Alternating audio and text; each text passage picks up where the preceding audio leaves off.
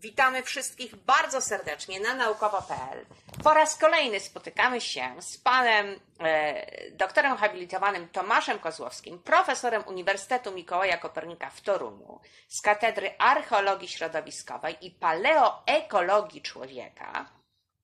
I dzisiaj, e, e, przypominam, wcześniej spotykaliśmy się na temat antropologii fizycznej, bo pan profesor jest antropologiem fizycznym, i spotykaliśmy się również na temat e, e, sarmackiej krypty.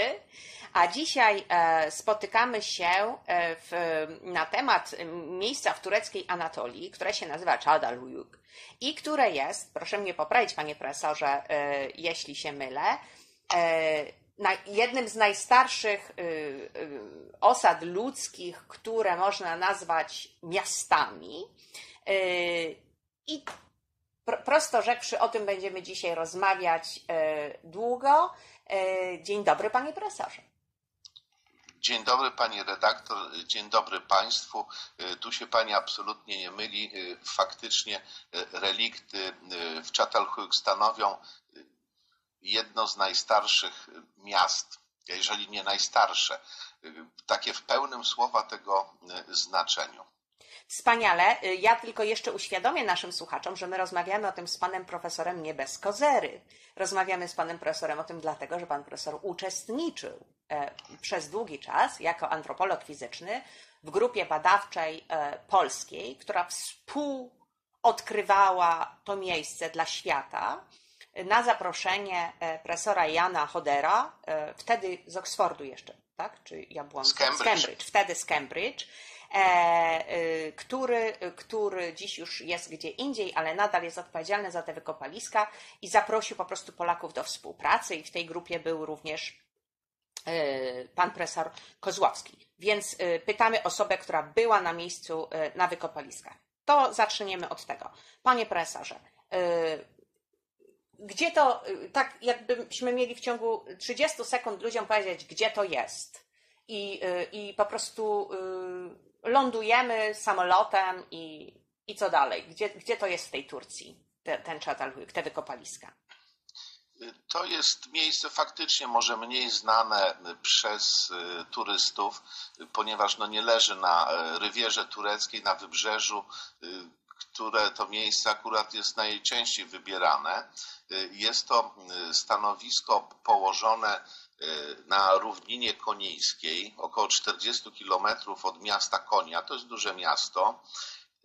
W środkowej Turcji, w Anatolii, więc zupełnie jak gdyby nie na trasie tych wycieczek, które najczęściej podejmujemy. A szkoda. I to jest też no, dość ciekawie położone miejsce, to jest równina konińska, czyli taki bardzo płaski obszar, dość olbrzymi, który jest otoczony dodatkowo górami Taurus.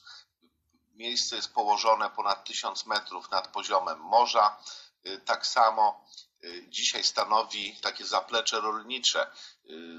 Tam nawet dwa razy do roku zbierane są plony i powiedzmy, no, najbliższe miejsce, no to, to może już zupełnie nieznane takie miasteczko Czumra, około 20 kilometrów, no i około kilometra od wsi, która się nazywa Koczokoju. Ale głównym punktem jest takim, żeby to namierzyć, to jest to oczywiście miasto Konia. Konia. Dobra, to teraz mamy taką sytuację, pan profesor powiedział, że rolniczy teren, więc no chodzą chłopi za, za, za, za, za sochą, że się tak wyrażę, jak chodzili ich ojcowie. Ewentualnie jakieś owce się tam pasą, chociaż raczej na wyżynach, tak jak wszystkie inne ludy pasterskie, ludy tureckie to wypasają. Więc kto odkrył, że nagle tam mianowicie otóż należy wbić łopatę archeologa w ziemię i dlaczego w ogóle zainteresowano się tym miejscem naukowo? No bo jak sam pan ładnie określił, aczkolwiek po polsku, no middle of nowhere, w środku niczego to jest. No tak, to jest taki turecki interior. Natomiast ja tutaj może tylko dodam, że rolnictwo tureckie jest zmechanizowane, więc no to, tam to absolutnie... no, od czasów Ataturka Turcja jest zmechanizowana. więc, więc w każdym razie za Sochą tam już nikt nie chodzi. Natomiast owszem, no w górach są jeszcze wioski takie pasterskie, gdzie to wygląda w taki zupełnie sposób tradycyjny. Żeby tutaj o tym powiedzieć, o odkryciu, no to trzeba by było też wspomnieć o panu profesorze Jamesie Melarcie, który w latach 50. i 60. zainteresowany właśnie archeologią Turcji, w tej Turcji przebywał. Miał zresztą żonę też Turczynkę, co niewątpliwie ułatwiało mu kontakty.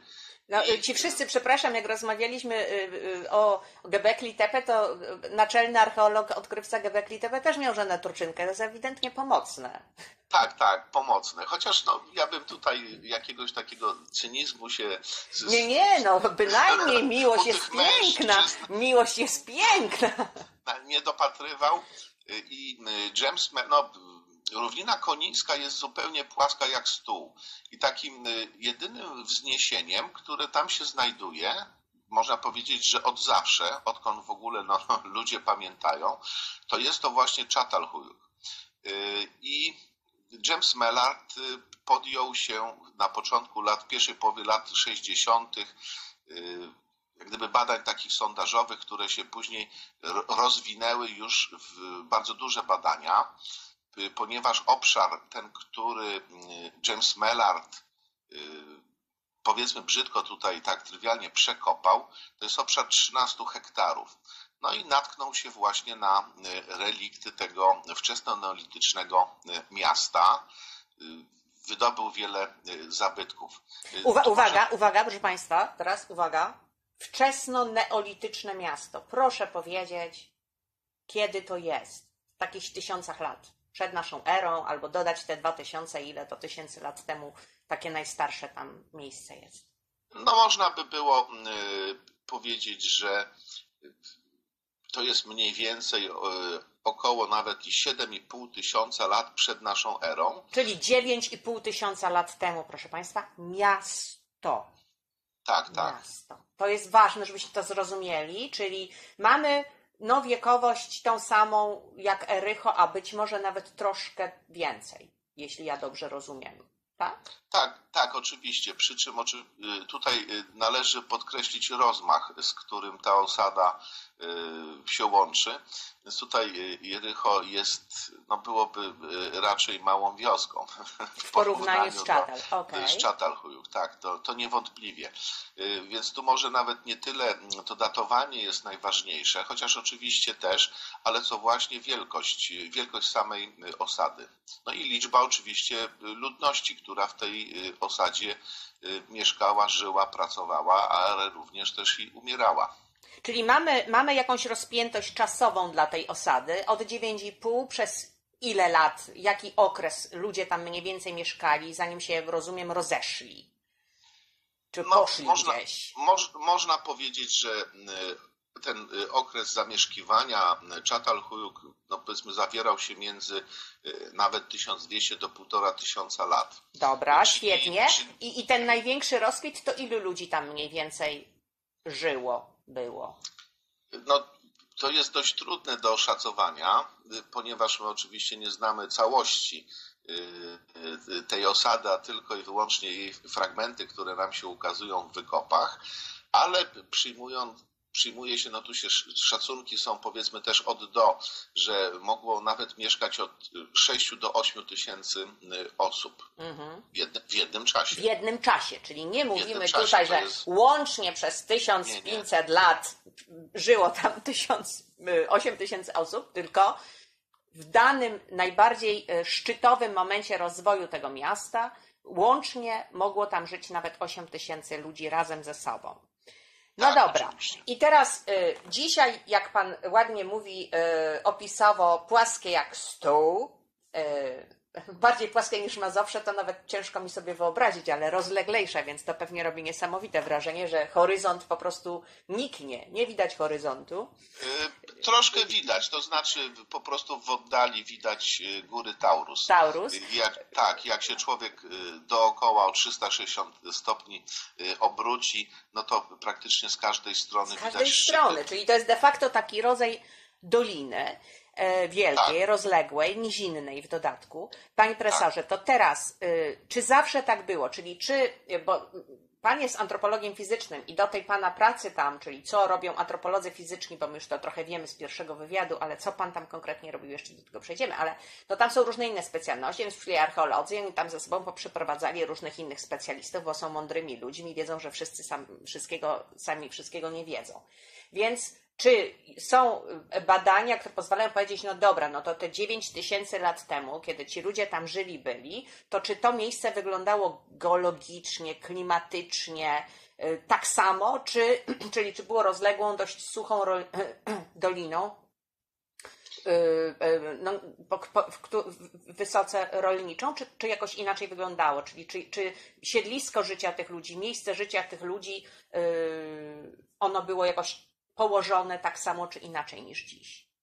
Y, no właśnie nie. Y, tutaj na początku no myślano, że skoro mm, równina konijska jest takim zapleczem rolniczym y, właśnie współczesnej Turcji, też gleby są tam faktycznie bardzo żyzne, przy czym jest to miejsce nad wyraz suche. Czyli tam no, opady to naprawdę występują bardzo rzadko, szczególnie te w porze e, właśnie letniej. To wszystko musi być e, intensywnie nawadniane e, i to dzięki temu tylko jest tam, plony się zbiera dwa razy do roku. Natomiast kiedyś to wyglądało inaczej. Nie było to miejsce wysuszone, ponieważ przez równinę konijską też płynęła rzeka. Taka rzeka meandrująca, która również też no, miała swoje odnogi, dodatkowo rozlewała się czasami i to ta okolica wyglądała właśnie w ten sposób. Dzisiaj. Czyli co, mokradła? No może nie powiedziałbym, że zupełnie mokradła, ale y, czyli no w sensie, żeby nie zrozumieć tego, że to jakiś był taki teren zupełnie bagienny, y, ale teren znacznie bardziej wilgotny, z wieloma różnymi takimi rozlewiskami czy y, mandrującymi fragmentami cieków wodnych, co oczywiście sprawiało, że ona miała zupełnie inny charakter. Dzisiaj to jest takie miejsce, które zdecydowanie uległo stepowieniu z, z czasem, w momencie, kiedy y, te cieki wodne powysychały. Natomiast kiedyś y, tak to nie wyglądało. To nie był taki suchy, trawiasty, brązowo-szary y, obszar. Ja, ja tutaj Czyli... ośmielę się wejść panu profesorowi w słowo w tym sensie, że y, bo nam się mokradła i słusznie, y, znaczy podmokłe takie tereny, tereny właśnie z mandrującymi rzekami, z zastojami wód i tak dalej, kojarzą raczej z y, malarią, chorobami zakaźnymi, problemami z reumatyzmem i tak dalej, i tak dalej. I to są konkretne problemy zdrowotne, na które na pewno ludzie cierpią, jak, jak żyją w takich miejscach. Natomiast jednocześnie ja miałam kiedyś taką rozmowę z moim przyjacielem, specjalistą od bagien, nawet była tutaj e, prezentowana na naukowo. I on mi powiedział, że słuchaj Magda, ale to jest oczywiste, że jak to mówią, życie wyszło z bagna, czyli że ludzie osiedlali się przy terenach bagiennych, dlatego że e, niezależnie od tych wszystkich e, ewentualnie chorób, którymi ty się tak przejmujesz, to to były siedliska bardzo bogate łowiecko, jeśli chodzi o tak zwaną drobną zwierzynę. Czyli ludzie żywili się rybami, a znacznie łatwiej jest oszczepem, czy dowolnie, że tak powiem, złapać rybę w takiej płytkiej rzece, właśnie meandrującej, czy na takim e, e, podmokłym terenie, e, gdzie te, gdzie, te, gdzie, gdzie te ryby po prostu widać w tej wodzie i można w nie trafić. I łapać ptactwo wodne, którego jest po prostu mnóstwo.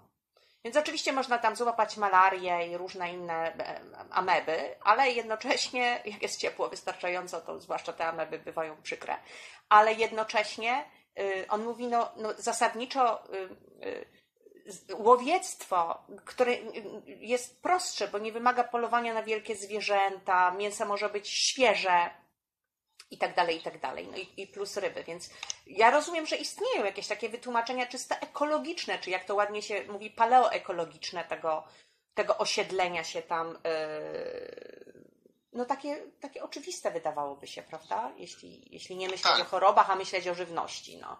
Znaczy nawet nie tyle o żywności, bo takim w mojej opinii głównym czynnikiem, który skłaniał człowieka y, nie tylko w przeszłości, ale nawet i dzisiaj, y, no to był jednak dostęp do wody. Mhm. Y, to jest podstawowa rzecz. Natomiast cała reszta to są oczywiście no, ważne, ale pewnego rodzaju didaskalia. Jak nie ma wody, to nie ma osadnictwa. No tutaj w przypadku równiny konińskiej i, i owych czasów y, tej wody było dużo i oczywiście ona też oferowała tym y, ludziom różnego rodzaju swoje y, dobrodziejstwa, ale także i właśnie te mm, czynniki takie patogenne tam odgrywały rolę, o których pani redaktor wspomniała. Ja tutaj może dodam, że no nie jest, równina anatolijska nie jest może y, dzisiaj takim terenem malarycznym, ale przypadki tej malarii się y, zdarzały i zdarzają, więc mhm. sporadycznie, ale można nawet dzisiaj tam y, złapać.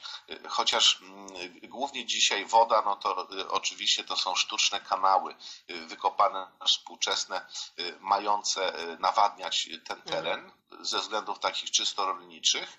No i one stanowią po prostu też rezerwuary. Rezerwuary, tak. To, tak, to, rezerwuary. To, to, też nam uświadamiał właśnie wtedy profesor Wiktor Kotowski, że e, sztuczne zbiorniki budowane przez człowieka są częściej e, e, jakby takimi źródłami masowych wylęgów komara z, z różnych wcale nieparadoksalnych względów niż takie zbiorniki naturalne, gdzie larwy komara mają bardzo wiele swoich wrogów.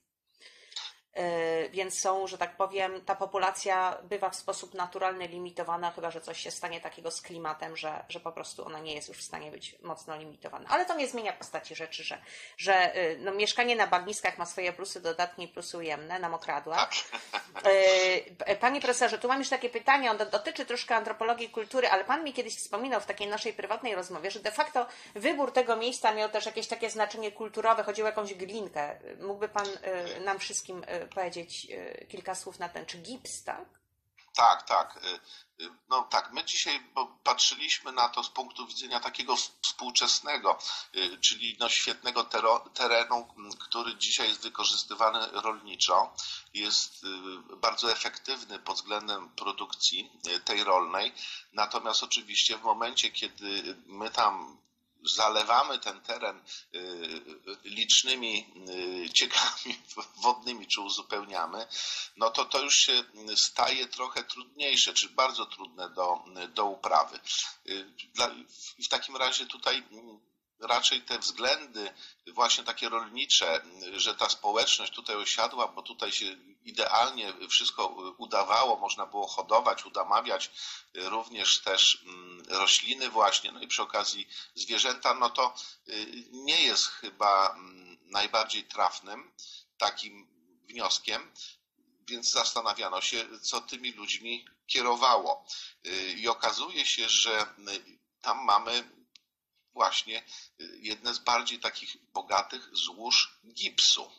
Natomiast ten gips, y, jak się też okazuje, był wykorzystywany bardzo chętnie y, i intensywnie przez mieszkańców tego neolitycznego miasta no, najprawdopodobniej nie tylko w celach takich budowlanych, jak my dzisiaj to mm, y, robimy, y, ale na przykład ściany domów i praktycznie wszystko było y, tym gipsem tynkowane.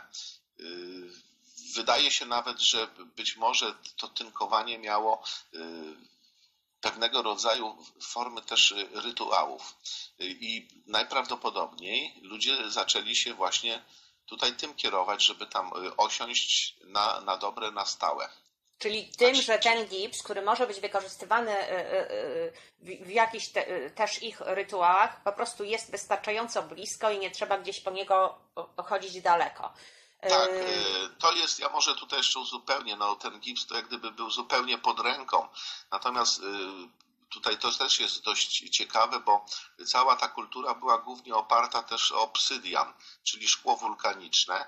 No to y, oni sobie zadawali trud, y, żeby y, chodzić do tych wychodni obsydianu, no prawie 50 kilometrów, czyli w dwie strony, no to 100 kilometrów, przy czym jeszcze weźmy pod uwagę załadowane torby, czy jakieś plecaki, pojemniki, prawda, ciężką skałą, którą się przynosiło do osiedla. Uświadamiamy tu wszystkim, że koła jeszcze nie było tam, działamy przed kołem, działamy już w neolicie rolniczym, czyli ci ludzie uprawiają, nie tylko są łowcami, zbieraczami, ale już coś uprawiają.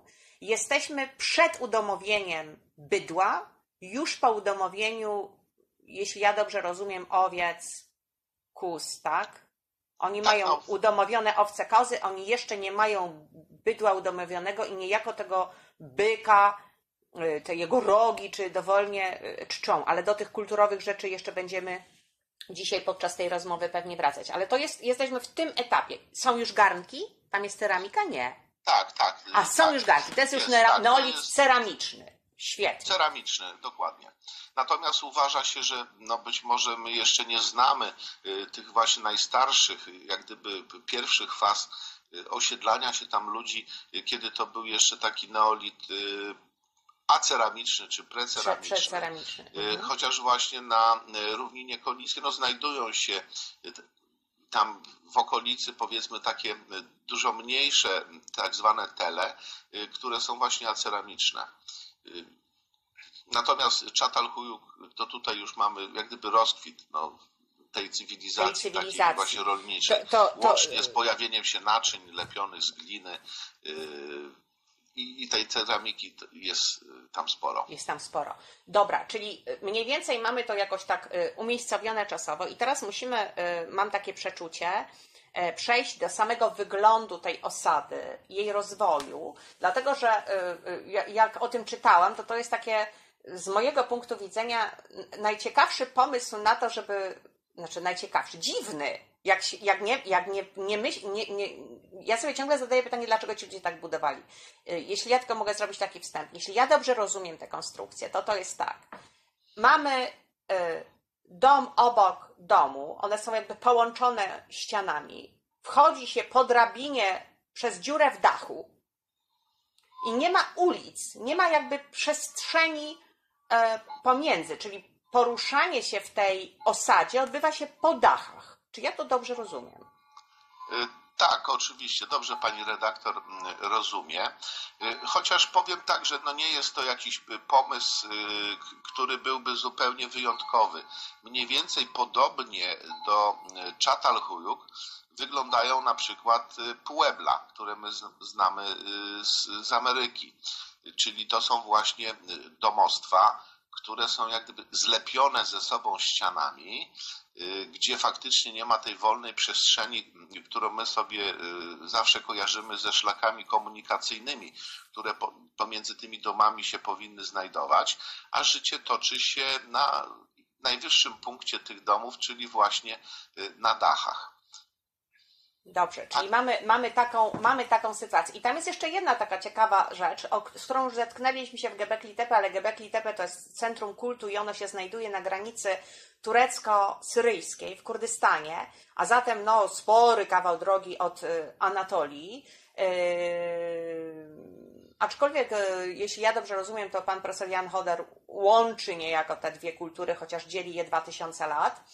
Yy, yy, do, do czego pewnie jeszcze wrócimy, ale jakby y, chodzi mi o to, że, że mamy, y, mamy te domy, mamy te budynki, one są y, postawione, ale zarówno w Gebekli Tepe, jak i w Czatal widać taki, taki moment, że oto zasypujemy pierwszą warstwę, nie wiem, już ludzie tam nie mieszkają, zestarzało się, zaśmierdziało się, no nie wiem, jest mi trudno wyobrazić, co się wydarzyło i już zasypujemy i budujemy wyżej kolejną warstwę. I teraz co, co dla jednych było sufitem, teraz dla innych będzie podłogą, żeby sparafrazować Zofię Naukowską i jej powieść Granica. Więc, więc mamy tutaj, e, ona to odwrotnie napisała, ale to nic nie szkodzi. Więc, więc jakby e, tutaj musimy sobie wyobrazić, że nagle ludzie decydują, że już nie będą na tym parterze mieszkać i zasypują go i budują piętro i przenoszą się. Znaczy ich rodziny, czy ja nie wiem, jak to powiedzieć. Ich potomkowie. No, w pewien sposób tak, tak dokładnie to mniej więcej wyglądało. No i w Gebekli bo... też, dlaczego powiązałam? Bo tam też po prostu zasypano w pewnym momencie to miejsce. W sposób celowy, oczywisty, no. po prostu wypełniono kamyczkami i, i cześć. No, y, oczywiście no, my jesteśmy w stanie tylko i wyłącznie w taki sposób pośredni próbować ustalać to, co się mm, w głowach tych ludzi działo. Y, dlaczego oni podejmowali akurat takie decyzje. Tutaj y, w przypadku Chatalhuyuk taki dom był używany no, zwykle, no powiedzmy około 100 lat, trochę więcej i był faktycznie y, niszczony. Sugeruje się, że był to pewnego rodzaju też y, rytuał, że to raczej nie jakieś względy y, takie praktyczne, tylko że to w sposób taki rytualny. Czyli więcej... przepraszam, gdyby były względy praktyczne, to byśmy widzieli, że te ściany wcześniej są zniszczone, że te domostwa są tak. zdegradowane, a tego nie ma. Nie, nie. Są to nadal starannie utrzymane domostwa, które ktoś po prostu zasypał. To tak? znaczy zasypał. One były y, w pewien sposób też niwelowane, czyli taki dom nie był w całości zasypywany. To, co dzisiaj dociera w ręce archeologów z tej przeszłości, że chodzi o relikty tych domów, no to jest mniej więcej metr do półtora metra y, tego domu od powiedzmy mhm. poziomu podłogi i to było wypełniane właśnie materiałem takim, którym głównie tutaj stanowi cegła mułowa. Y, I na tej jak gdyby konstrukcji, prawda, takiej przygotowanej też platformie zasypanym tym y, dolnej części tego domu, tych dolnych partiach budowano kolejny dom, czyli ściany szły w górę, pokrywano to dachem. Więc stąd też między innymi dlatego mamy tutaj do czynienia z telem, czyli to miasto jak gdyby i te domy cały czas wspinały się ku górze, tak? Nie, nie niwelowano tego do zupełnie poziomu jak gdyby tego zero, prawda? Mhm. Osadniczego. To, to no dlatego to jest taki układ piętrowy. To nie robiono oczywiście wszystko z, nagle ze wszystkimi domami, co powodowało też pewne zróżnicowanie tej stratyfikacji pionowej, czyli jedne domy były jeszcze używane, inne już były zniszczone i nadbudowywano, czyli one zaczynały bardziej wystawać, czyli tutaj mamy nie taki dokładnie płaski, jak gdyby teren i jedną płaszczyznę w formie takiego lotniska, tylko właśnie y, różnie wystających ku górze domów, tak, które nie są y, wypoziomowane y, w stosunku do y, powiedzmy tej płaszczyzny dachów mhm. wszystkich. I, I wydaje się, że taki dom no, mógł być jeszcze oczywiście używany, chociaż z drugiej strony też pewien problem, o tym pewnie będziemy jeszcze rozmawiać, no, stanowiły pochówki, które się znajdowały pod pod podłogą tego domu. No więc to, to, nie są duże powierzchnie, więc w pewnym momencie poza częścią tą taką magazynową, y, ten dom, podłoga tego głównego, powiedzmy tutaj niech będzie salonu, tak living roomu, jakbyśmy dzisiaj mogli powiedzieć, no, stanowiła y, platforma, pod którą spoczywali być może przodkowie, tak, tych ludzi, którzy... No tak, a jeszcze przecież musiało się zmieścić palenisko, bo to jest lud, który, który y, przygotowuje termicznie swoje y, posiłki, jak już tak, wszyscy piece, ludzie, tak. jak wiele, wiele pokoleń przed nimi i, i, i wiele pokoleń za nimi aż do dziś, więc więc e, musiało tam być jeszcze palenisko, musiały być Było. jakieś miejsce, miejsca e, e, z wylotem, jak rozumiem, no bo dym trzeba jakoś usuwać, inaczej ludzie by się podusili. No, uważa się, że te piece były umieszczane pod otworami, którymi się do, do wnętrza domu, do domu wchodziło. Mhm. I... Chociaż my nie, no. Chociaż my, nie, nie, my, my, znamy oczywiście te domy mniej więcej do wysokości około metra. Dachów też zbyt dużo się nie zachowało to są raczej mniejsze fragmenty niż y, większe. I my dokładnie też no, nie wiemy, jak na przykład ten dom i te ściany wyglądały powiedzmy od metra wyżej, prawda? Znaczy ja, ja, ja, pamiętam, że oglądałam kiedyś taką komputerowo zrobioną na jednym z wykładów profesora Jana Chodera, takich internetowych, y, rekonstrukcję takiego domu i on sam mówił, prezentując ją, że teraz to już właściwie on sobie to trochę inaczej wyobraża. No dokładnie, dokładnie. Tutaj też jest pewnego rodzaju y, ars, ars poetica. No my nie mamy na przykład żadnego domu z zachowanym piecem, nad którym by się znajdował ten dach właśnie z otworem. Z otworem, no ale gdzieś ten dym musiał uchodzić. Ale dym musiał gdzieś uchodzić. Więc Takiej ludzie by się po prostu się, potruli. Y, ja nawet powiem, y, no to przy okazji, to może taka krótka jest dygresja. Brałem udział w takim y, właśnie rozpaleniu takiego pieca w rekonstrukcji tego domu.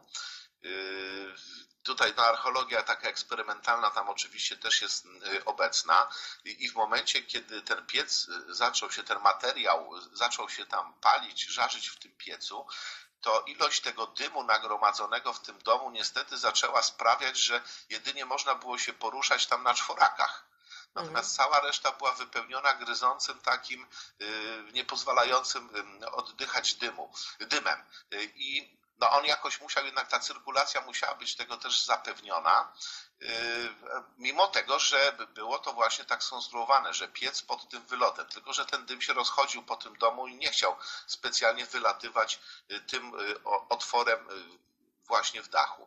Tylko to też może być kwestia jednak pewnych innych dookolnych okoliczności, bo jeśli tam jest postepowienie, tam są teraz inne zewnętrzne temperatury i tak dalej, więc cug, y, to jest obserwowalne y, nawet w, w, w, sytuacjach, kiedy my żyjemy i mamy kominki, nie? Jaki jest cug w dni wilgotne, w dni mroźne, w dni ciepłe, w dni letnie, gdyby chcieć w takim kominku rozpalić. To są zupełnie inne, y, no tak, inaczej się to też zachowuje, nie? Tak, tylko że no, to były chaty kurne tak zwane, mhm. czyli jakichś takich przewodów kominowych. Oczywiście te piece nie miały, natomiast ludzie no, musieli jeść codziennie i oczywiście obróbka termiczna tej żywności no, też musiała mieć miejsce. Y, dlatego ten piec był używany no, przez cały rok, prawda? I ten, i ten dom, panie, panie profesorze, ta, ta kurna chata, która jednakowoż jest z cegły mułowej, więc mamy kolejną użyteczność bycia w pobliżu y, jakiegoś takiego podmokłego terenu, że tego mułu można wydobyć całkiem sporo i posuszyć na słońcu jeszcze więcej w pewnych formach, tak? Bo to do dzisiaj się taką cegłę robi, więc to mniej więcej tak. wiadomo, jak to się robi. Jest forma drewniana i, i się ją napełnia taką bardzo mokrą gliną czy mułem i wystawia się to zdejmuje się formę, to się suszy na słońcu i ta cegła przy dużych, jak słońce mocno operuje, to ona się bardzo robi stabilna, nieprawdaż? To właściwie nie jest cegła wypalana, a jednak daje rady, no, nie? Tak, da, da, daje radę, tym bardziej, że y, właśnie pobliska wioska y, Koczokoju w dużej części jeszcze posiada takie zabudowania które są wykonane z, z, właśnie z cegły mułowej. No dzisiaj tam wchodzi y, i klinkier, wchodzi y, cegła ceramiczna, natomiast część na przykład domów, czy część y, tutaj po, tych takich pomieszczeń, czy powiedzmy budynków gospodarczych, gospodarczych tak, jest, tak, jest wykonana z, właśnie z tej cegły mułowej. No to, oczywiście to nie jest tylko i wyłącznie sam, powiedzmy tutaj muł, to raczej taka glina jest, Natomiast oczywiście do, do niej są dodatki odpowiednie, y, też dodawane w postaci czy to sieczki, czy nawet też i odchodów zwierząt, prawda, które się hoduje. Y, czyli to jest y, nie taka czysta glina, natomiast no, jest to swego rodzaju taki no, materiał już budulcowy, nieco przetworzony. Ale dokładnie to no jest, jest, to, jest to taka cegła, która jest opisana w Biblii, w Księdze Wyjścia, że Żydzi cieli trzciny, tak. Potem ich faraon wysłał, że sami sobie mają nazbierać i trzcina nie będzie im dostarczana i wdeptywali ją w glinę stopami. Ktoś formował y, kolejne, w tym ciągu technologicznym formował te cegły w tych drewnianych e, formach i one się suszyły na słońcu, tak w Egipcie, tak, jak dokładnie. rozumiem w Anatolii. Tak jest, e, dokładnie. E, więc mamy tutaj taką sytuacja, że byli w, w, na terenie bardziej podmokłym, więc pewnie właśnie mieli do czynienia z trzciną bardziej niż, niż obecnie w, w zastepowionym terenie, gdzie do, do, do, dostępna byłaby wyłącznie słoma spod zwierząt i, no, i tyle. Czyli każdy korzysta tak, z tego, tak. korzystamy z tego, co możemy i co mamy pod ręką, jak budujemy. I teraz y, dotyczące, czyli pojedynczy dom mniej więcej mamy wyobrażony, że oto on jest zbudowany z tej cegły, y, no, ma jakąś wysokość, ale nie do końca potrafimy ją oszacować, ponieważ y, te, te poziomy były niszczone. Ma wylot służący jako prawdopodobnie wylot kominowy i jednocześnie jako, jako wejście do domu. Ludzie żyją na dachach czyli komunikacja e, w, tej, w, tej, w tym miejscu, uwaga, 8 tysięcy ludzi ma na dachu arterię, żeby się przemieszczać. I teraz, i teraz regularnie co tam 100 lat poziom jest zasypywany i, i, jakby otwierany jest poziom następny, budowany jest poziom następny, piętro wyżej zaczynamy mieszkać. Obsmarowujemy te domy tym gipsem, który jest dobrem podstawowym, y, dla którego w ogóle zechcieliśmy tu zamieszkać, e, czy też jednym z dóbr podstawowych, które nas tutaj bardzo za, zanęciły, żeby tutaj żyć. Tak, tak I na tym gipsie zaczynamy w pewnym momencie również malować różne rzeczy, więc te domy są w środku ładne, ale to w pewnym momencie, tak? Y, ja powiem tak, jeszcze uzupełnię, że ten dom, no to nie jest oczywiście, nawet to nie jest taki jednoizbowy, bo ta przestrzeń jest też podzielona, y, bo też ten dom na przykład posiada jak gdyby taki powiedzmy aneks, y, na przykład y, magazynowo-spiszowy. A to zaraz, właśnie, to jest bardzo ważne, co pan profesor mówi. Zaraz, zaraz do tego też przejdziemy, bo tutaj lud czyli, rolniczy musi mieć spichlerz. To jest oczywiste. Tak, czyli, y, czyli sam dom, ta przestrzeń jego jest też podzielona. No, mówić na taką część właśnie w formie takiego living roomu, część taką kultową, no i właśnie tą część gospodarczą. A, czyli mają tą część e, przebywania razem i kultu. Ja z tego, co widziałam na tych obrazach, co do których pan profesor Hoder mówi, że on już sobie to inaczej wyobraża, że tam takie rogi byka były wgipsowywane w, w, w, w pewnych miejscach, w ścianach, tak? Jako, no. nie wiem, ozdoba, czy też jako właśnie miejsce kultu, czy, czy, czy takiego wewnętrznego, domowego, czy coś takiego, tak?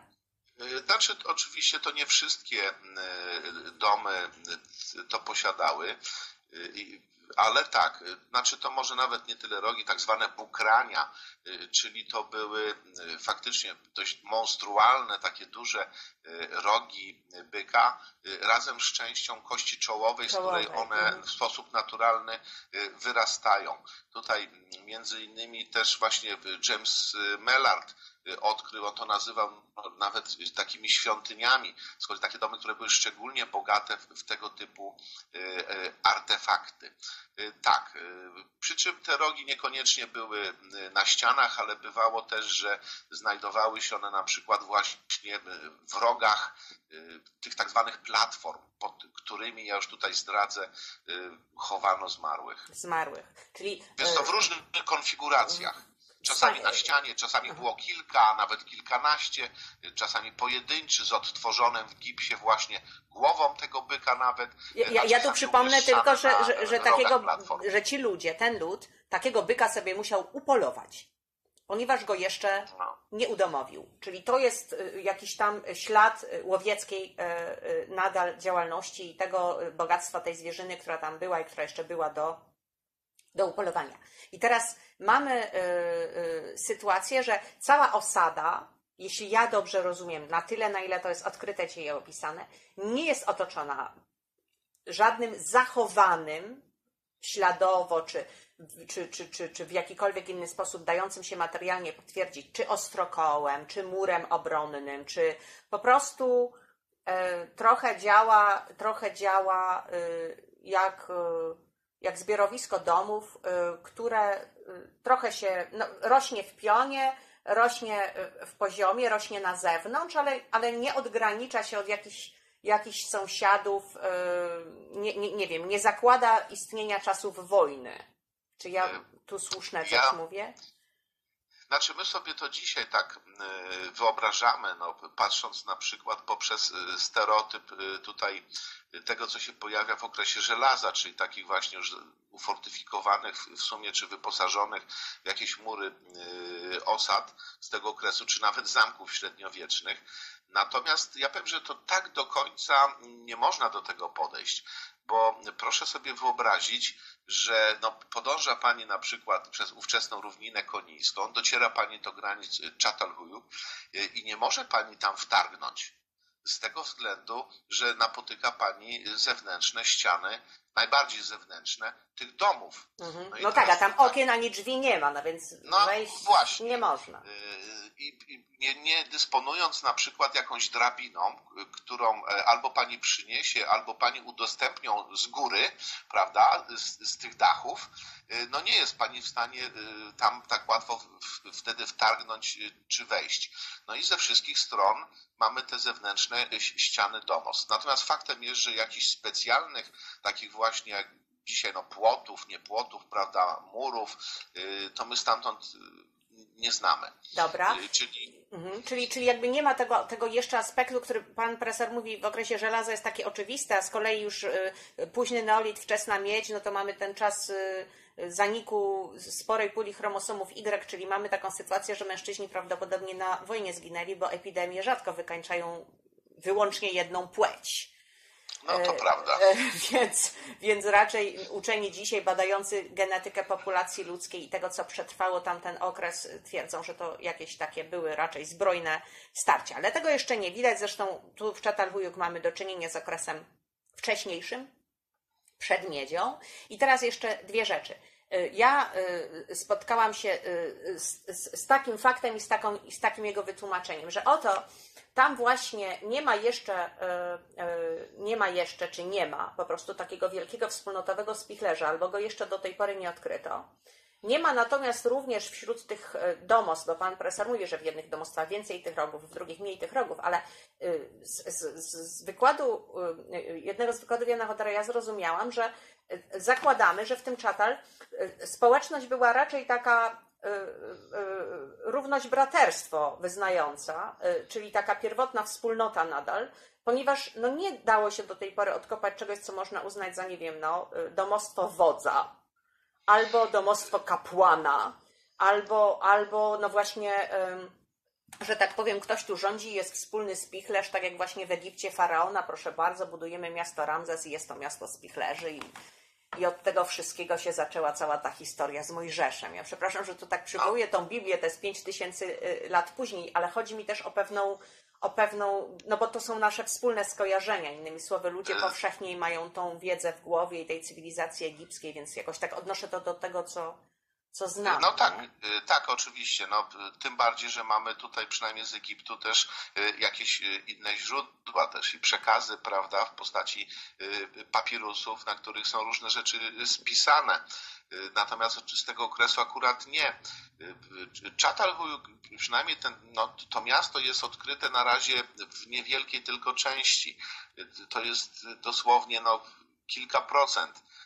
Nie wiadomo, co będzie gdzie indziej, prawda? Mhm. Y, y, natomiast no, na razie musimy faktycznie założyć ten y, taki powszechny egalitaryzm, co no, w mojej opinii, przynajmniej jako antropologa, no, raczej nie wskazuje, czy powiedzmy, no nie determinuje tego, że nie było tam ludzi, którzy mogliby w pewien sposób przewodzić no, społeczności. Tej społeczności. Bo 8 tysięcy ludzi naraz zgromadzonych no. bez przywódcy, nie, po prostu y, to jest sobie tak, to, to y, w sensie ciężko sobie to wyobrazić, y, choćby tak. poziom konfliktu, który trzeba rozjemczo załatwić, bo inaczej ludzie sobie po prostu zaczną robić krzywdę. Jest zbyt wysoki w takiej gęstości zaludnienia. Oczywiście, no to musi działać jako pewnego rodzaju jeden organizm, żeby no, ta osada była, to miasto było zasiedlane przez ponad tysiąc lat.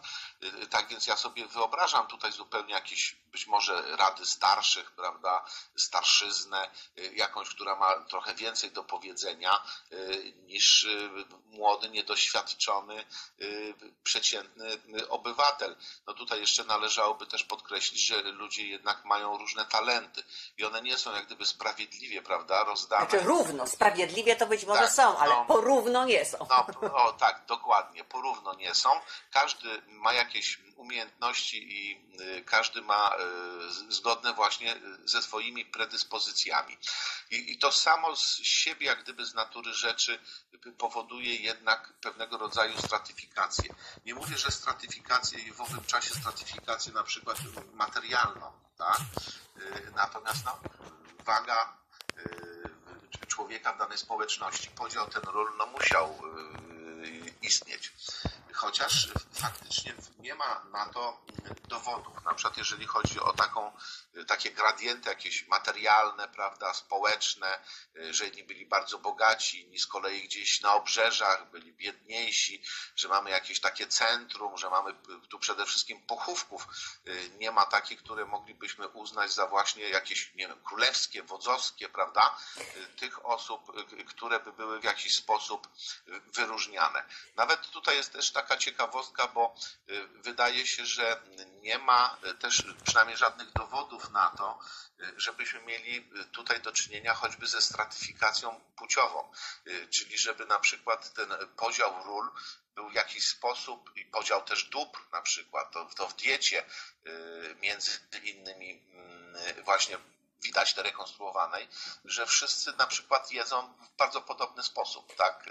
To samo pożywienie. Panie profesorze, ale to są właśnie zagadnienia, do którego wrócimy w naszym następnym spotkaniu, bo rozmawiamy ze sobą już długo i fajnie się rozmawia, ale mnie bardzo zależy, żeby wszyscy nasi uczestnicy na naukowo e, z Pana ust spili e, bardzo dużo informacji o tym przeciekawym miejscu. Przeciekawym, proszę Państwa. Także jest materiał na drugie spotkanie i ja tu zaraz poza wizją się postaram z Panem Profesorem umówić, żebyśmy się spotkali drugi raz. A dzisiaj no cóż, po prostu musimy podziękować Panu Profesorowi podziękować naszym słuchaczom za uwagę.